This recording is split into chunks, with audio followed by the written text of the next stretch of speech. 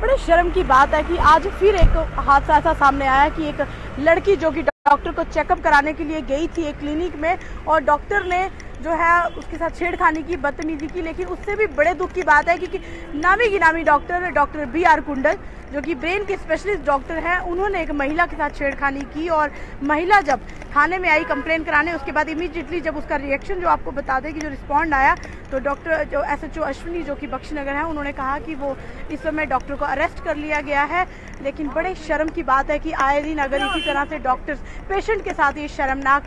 बातें जो है, शर्मनाक हरकतें करेंगे। तो आम लड़कियाँ या आम लोग, खासकर महिलाओं की अगर बात करें तो वो क्या सोच के किस विश्वास से डॉक्टर के पास जो है चेकअप के लिए जाएगी? क्योंकि आपको बता दें कि जब भी कोई महिला गर्भवती होती है तो आज महिला महिला डॉक्टर के साथ, महिला डॉक्टर नहीं पेशेंट के साथ कम होती है, लेकिन मेल डॉक्टर जो है वो ज़्यादा डिलीवरी के केसेस करते हैं। लेकिन क्या सोचकर वो महिलाएँ आज डॉक्टर्स को अपना चेकअप कराने जाएँगी? आपको बता दें कि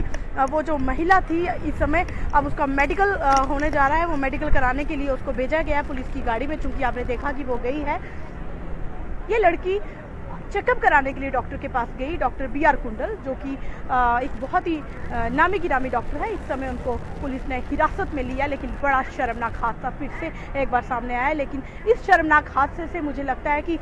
सबक लेना चाहिए, क्योंकि सरकार एक तरफ़, हमारी सरकार हमेशा से ही कहती है, हमें बेटियों को पढ़ाना है, हमें बेटियों को बचाना है, लेकिन यहाँ पर कितनी भी कोशिश की जाए, ये लोग इस तरह की जो शर्मनाक हादसे हैं, ये करने से बाज नहीं आते हैं। कैमरामैन साहिल के साथ Komal Singh, the news now Jammu.